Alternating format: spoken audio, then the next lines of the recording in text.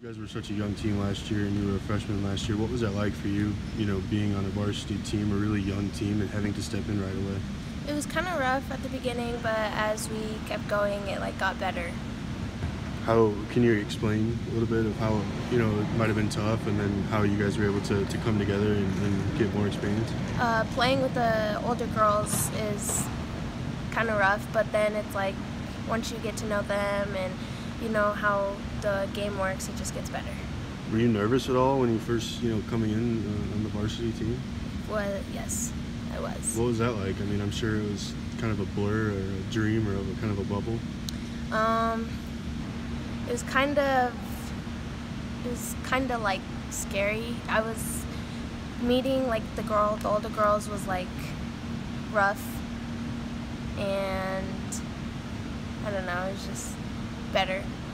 What's been the difference, uh, you know, in terms of last season and coming into this season? Coach said that you guys have really been playing a lot, been working out a lot, added a bunch of uh, you know weight and gains to your overall total this summer. What's that been like, and what what have you seen in terms of uh, some of the results?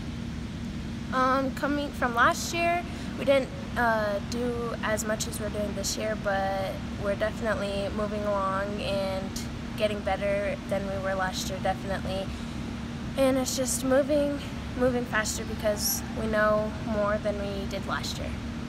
Do you feel like that's been the biggest difference? Is now you know what to expect versus coming in and not really knowing what's going on? It's a big difference. Does that give you more confidence as well? Yes. What's kind of been the theme here early on in, in fall practice? Um, just getting better and working toward our goal.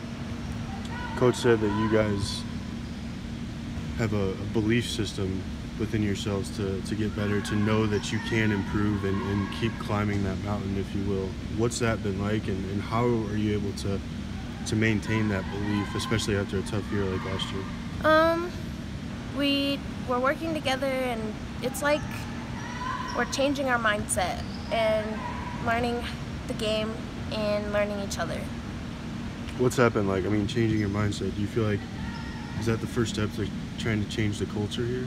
Yeah, when we change, when we're trying to change our mindset, it's like we don't want to be the team we were last year. We're trying to make a difference and be better than we were last year.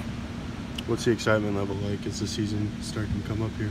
Um, it's very exciting. You know, we're all getting very excited for season to come, getting very excited for our first tournament, and we're just getting ready for all the teams that are coming at us.